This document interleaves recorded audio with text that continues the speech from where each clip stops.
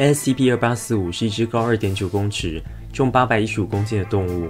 它的外形类似鹿，但却长着人的脸，有四点八公尺宽的鹿角，鹿角颜色是白底黑色的大理石纹。它全身除了脸部外，都覆盖十公分松软绿色的毛发。在 SCP 二八四五头后方十五公分悬浮着一个冰粒子环，直径一点七公尺，厚三十五公分。环上有七个直径十五公分的球体，由金属氢和金属氦组成。环和球体顺时针一点六 rpm 的速度旋转。SCP 二八四五有能力瞬间转化和重建物质，但过程中没有物质被创造或摧毁。这个能力可以被随心所欲的使用。据观测，最远可以达到视野所及的范围。该能力实际的最大范围未知。被转化的物质会维持稳定状态，而不受环境因素影响。金属氢和金属氦是常见的结果，不管周围温度如何，都会维持固态或液态。最常见的转化结果是固态或液态氢或氦，把空气转化为氢、氦、氨混合，把植物转化成类金属基的生物。SCP-2845 通常会以五公尺的转化区域环绕自己，并且完全免疫物理伤害。SCP-2845 最常使用的进攻性转化方法是一个直径七公尺、高六十到八十公尺的圆柱形区，或一个长度为一百至一百五十公尺、最宽处十到三十公尺的水平圆锥区域。但它也曾被观测到攻击距离十公里的单一目标。SCP-2845 转化的人类被称为 SCP-2845 之一。SCP-2845 之一是二点四公尺高的六边形塔状物，有橡胶光泽的黄绿色皮肤。SCP-2845 之一个体没有任何外部感觉器官，尸检发现它们也缺少内部器官，除了占据整个内部的大脑，具有其他被重建器官和某些额外外部物质的质量。目前不知道 SCP-2845 之一如何摄取养分，或是是否需要营养。SCP-2845 的收容措施包含一连串荒谬且复杂仪式，这些仪式包括荒谬的戏剧、管乐演奏、交换礼物、阉割低减员。烧烤一名不到三个月大的孩童，吞下再将其吐出，并且每六十三小时五十四分钟要重复一次仪式。文中的解释是：SCP-2845 是一个神，对于一个神，仪式和信仰所用的力量比所有科学规则都强大，而这些仪式不容许任何的修改。它的运作是因为一个任意的标准被认真的执行了，相信满足这些任意的标准能达成一个确切的目标，让仪式拥有力量。原本无意义的行为，通过重复和应用而变得有意义。但这些仪式其实没有困住 SCP-2845 的力量。只要 SCP-2845 想要逃跑，随时都可以逃跑，并可以在转瞬间将整个设施化为一团清晰。仪式只是愚弄 SCP-2845，将它困在一个固定的行为模式中。任何一点误差都可能造成 SCP-2845 的受用失效。因此，尽管看似残忍、荒谬、没有意义，但仪式仍然会持续下去。SCP-089 是一个上过釉的陶制雕像，大约有三公尺高。雕像的外形是一个有翅膀、张嘴的牛头人。雕像的前躯干有铰链连接，可以从顶部打开，里面是一个可从外面上锁的洞，容积大约零点六立方公尺。雕像的背面有一段迦南语的说明，其中一部分翻译后为“噩梦般的摩洛克，缺乏爱的摩洛克，疯狂的摩洛克，摩洛克人类无情的审判官”。在罕见的情况下，SCP-089 会开口说话，有时出现的间隔甚至高达一个多世纪。内容包含三个部分：通过比喻的方法预言一个即将发生的灾难，被称为 S 型事件。S 型事件都是瘟疫、自然灾害、涉及种族灭绝或其他大屠杀的集体疯狂之类的事件。一个健康的、无缺陷的人类婴幼儿或孩童的名字或描述，称为 SCP-089-A。一个涉及 SCP-089-A 的特殊仪式，称为 M8 程序。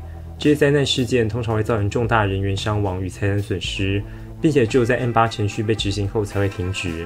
M8 程序需要 SCP-089-A 的母亲 SCP-089-B 将易燃物与 SCP-089-A 放入雕像的洞中并点燃，在随后的二到五小时内，SCP-089-A 将会燃烧然后毁灭。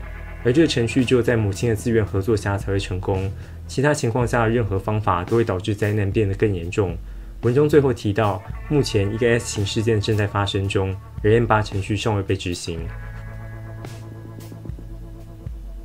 SCP-1459 是一台被改造过的夹娃娃机，大小为2.3公尺乘1.2公尺乘1.5公尺，与同类型的机器相似。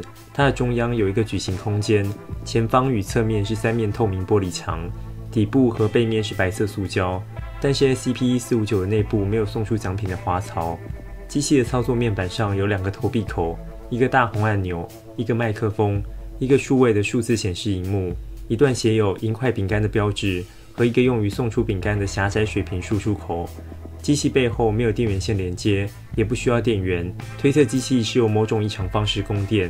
SCP-1459 不能以任何已知方式被打开或破坏。当投入一枚二十五美分硬币后，一个开口会从天花板打开，一个抓着一只 SCP-1459 之一的机械爪会从其中伸出。SCP-1459 中出现的其他物体通常比机器本身的上端体积大很多。目前不知道这些物体是在游戏启动时被 SCP-1459 创造出来，还是从其他地方传送过来的。SCP-1459 之一的外形类似幼年家犬，品种性别不一。SCP-1459 一般会选择玩游戏者最喜爱的品种。SCP-1459 中似乎有无尽的 SCP-1459 之一个体，但除此之外，SCP-1459 之一没有异常性质，并且会有与一般幼犬一样的行为举止。在放下 SCP-1459 之一后，荧幕会显示出之前进行过的游戏次数，并播放一段录音，催促游戏者按下按钮，并描述一种能摧毁 SCP-1459 之一的方法。在播放后，操作面板上的按钮会开始发光，显示荧幕会开始十五秒倒计时。接下来，玩游戏者可按下按钮，并向麦克风描述一段能对 SCP-1459 之一进行的致命动作。唯一的限制条件是不能选择之前游戏中使用过的动作。如果游戏者在十五秒内说出了一种处决方式，机器内天花板上就会打开一个小口，并伸下一排机械手臂，抓着提出方式所需的任何物品。如果指定的方式不可能在机器内空间被完成，SCP-1459 会展现出更多异常性质来完成任务。SCP-1459 所能使用的方式几乎完全没有限制：黑洞、核爆、绝对零度，甚至还包含司法系统与电车难题。一旦 SCP-1459 之一死亡，一块饼干会从机器前方的输出口送出给游戏者。饼干口味包括巧克力、香草、燕麦、葡萄干、草莓、柠檬。白巧克力和花生酱，一般来说都是游戏者最不喜欢的口味。如果游戏者没能说出处决方式，或是方式不合要求，一只机械手臂会从 SCP-1459 的小口中伸出，并开始殴打 SCP-1459 之一个体，直到其死亡。之后，没有饼干会被送出。SCP-1459 会在每场游戏后自动清洁内部空间，在清洁过程结束后，会播放一段声音讯息给游戏者：“耶，你肯定要为此下地狱了。”再玩一次。SCP-204 分为两个部分。SCP-204 之一是半有机的纳米机械群，会以保护者的形式跟随 SCP-204 之二。SCP-204 之一大部分时间会分散行动，几乎不可能以正常人类感官察觉到。当 SCP-204 之二遇到危险时，或是当 SCP-204 之二发出命令时，SCP-204 之一会瞬间物质化成固体的物理形态。物理形态的形状和性质取决于 SCP-204 之二的想法、心理状态与想象力。虽然具有能变化的特性，但这些物理形态具有一些相同的特征：强大的力量、巨大的体型、基本的智能、完美的服从 SCP-204 之二，并且能借由吞食生物的血肉再生。一般的武器就能伤害到 SCP-204 之一。如果造成足够的伤害，可以迫使它回到分散的状态。SCP-204 之二会是一个年龄四到十四岁的小孩。除了能呼叫 SCP-204，SCP-204 之二并没有特殊的地方。SCP-204 之二具有共同的特征，他们都有被虐待或经历过危险的背景，并且许多因此罹患精神疾病。SCP-204 之一会被这类的小孩吸引，但不知道他们是为何以及如何找到他们。如果 SCP-204 之二被处决或是年满十四岁，SCP-204 之一会抛弃他，并且找到新的孩童来应记。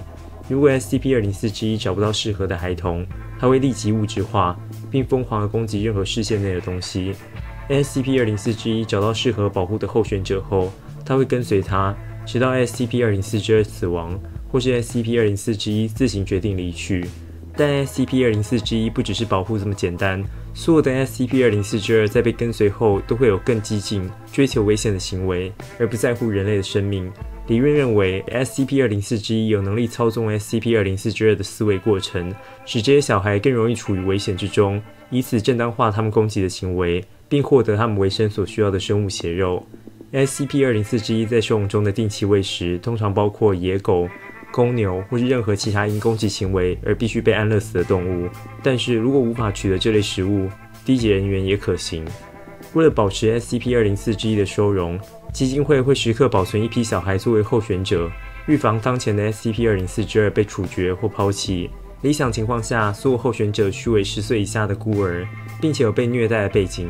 但在需要的时候，基金会会将不满足条件的孩童安置于曾被定罪有暴力犯罪、儿童虐待及恋童癖的低级人员组成的照顾者看管下，以生产合适的候选者。SCP-231 包含了七位怀孕的女性，SCP-231 之一到 SCP-231 之七。这些女性是在警方搜查一个名为“生活王之子”的组织所持有的仓库后发现的。在被救出的二十四小时后，SCP-231 之一开始产痛，三分钟后产下 SCP，导致某个可怕的事件，造成大量的伤亡。基金会人员立刻控制了剩余的六名女性，并根据从该异教团体回收的记录，制定了一一零蒙托克程序。一一零蒙托克程序必须被实施在 SCP-231 上，以防止灾难事件的发生。对于一一零蒙托克程序到底是什么，文档中并没有明确详述，只有提到它不仅可怕，会给人带来强烈的痛苦，并且涉及某种野蛮的行为。一般常见的推测是性侵，不管是试图将 SCP 胎儿个体移除，或是母亲死亡，都会导致灾难事件的发生。SCP-231 之二在试图移除 SCP。胎儿个体时死亡，SCP-231 之三因为蒙托克程序导致的长期痛苦而自杀，SCP-231 之四被使用 SCP-500 治疗，虽然成功的将 SCP 排出体外，但排出的残留物仍引起了灾难。SCP-231 之五由于110蒙多克程序的施行不当，在施行的一小时后产下 SCP，引发灾难事件。SCP-231 之六在被某位特工鼓励并协助的逃脱尝试中死亡。这位特工因接触 SCP-231 过久而受到高度压力，取得了 SCP，并试图用该武器解救 SCP-231 之六和 SCP-231 之七。过程中，特工被击毙，SCP-231 之六也被流弹杀死。SCP 二三一之六的 SCP 胎儿随后导致灾难事件。这些灾难事件威力不断上升，推测 SCP 二三一之七的生产会导致 SK 级世界末日。而一零蒙托克程序的实施，SCP 二三一之七的痛苦可以避免世界末日的发生。为此，基金会甚至会在实施多次后，对 SCP 二三一之七进行记忆消除，以获得更好的效果。虽然 SCP-231 的文档非常可怕，也有外围文档试图以其他方式来解释。在《恐惧为存》这篇外围文档中，一零蒙托克程序只是朗读故事书，而 SCP-231 的文档只是捏造出来的产物，以此来产生恐惧。而恐惧就是深红之王所需的一切。以上就是五个挑战人道德底线的 SCP，其中我特别想提出来讲的是 SCP 一四五九。SCP 一四五九的实验记录其实非常有创意，跟 SCP 二六一次元泛用收获机的实验记录非常相似，充满许多不可预期性。但我实在是无法接受虐狗，导致我在看的时候心里非常矛盾。但是看其他 SCP 文档低级人员的遭遇，倒是不会有这样的感觉。不知道有没有人也有这样的心情？这期影片就到这边。如果你喜欢这期影片，记得帮我个喜欢；不喜欢的话，就按不喜欢吧。希望我做出 SCP 或主题，可以留言告诉我。就这样，拜拜。